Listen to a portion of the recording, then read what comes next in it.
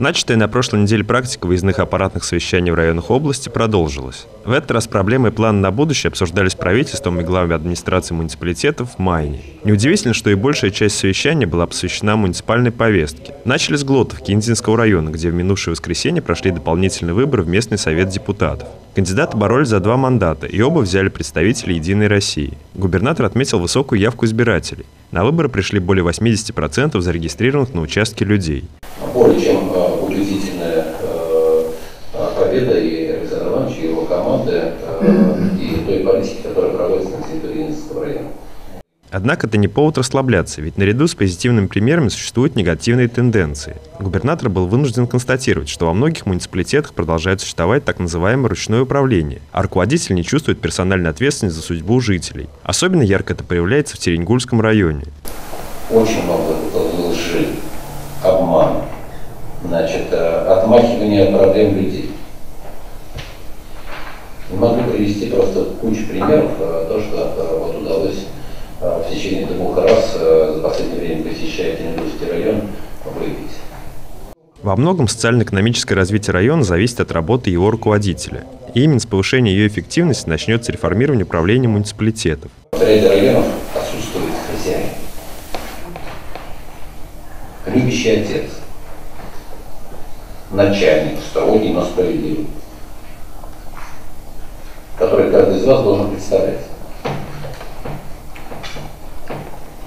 Поэтому э, мы должны в ближайшее время с вами еще раз вернуться э, к эффективности работы э, руководителей муниципальных образований и поселений, э, утвердив своеобразный такой вот э, стандарт и одновременно э, пройдя вот небольшой курс э, такого, ну уж не молодого бойца, конечно, так сказать, а просто руководителя муниципалитета. Оценка качества работы ждет не только руководителей районов. Ей будет подвергнуто все правительство. Прошедшая оптимизация уже позволит сократить численность чиновников почти на 26%, и налаживание эффективного управления продолжится. Будет э, создан специальный департамент эффективности государственного управления за счет перераспределения штатной численности внутри э, аппарата э, правительства и администрации губернатора такой своеобразный э, центр э, повышения эффективности будет на в структуре этого департамента создан. Э, там Центр инноваций государственного управления и Центр оценки государственных услуг. Причем э, руководители этих двух центров э, будут э, приняты на работу через специально открытый конкурс. То, как вот мы сейчас выбираем, например, э, министра спорта. Муниципалитеты должны более активно включаться в работу на региональном уровне. Одно из таких направлений – семейно-демографическая политика. В ближайшее время при всех руководителей районов будут созданы рабочие группы по этому вопросу. Вы должны будете э, 1 сентября сдать на мое личное имя, мне лично, предложение муниципального образования об улучшении семейно-демографической э, ситуации в муниципалитете.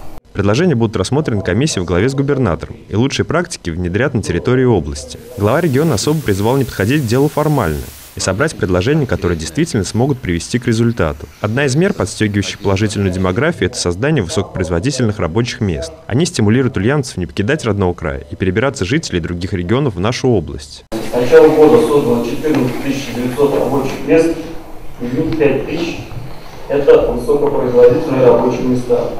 Но вместе с тем, коллеги, хочется отметить, что Новоульяновск и Павловский район доля высокопроизводительных рабочих мест составляет всего 7,5%. Одновременно с созданием вакансий по поручению губернатора реформируется работа службы занятости. Теперь она делает больше упор на переориентацию кадров и учебу, что впоследствии помогает найти достойную работу. Егор Титов, Юрий Конихин, Новости дня, Ульяновская правда.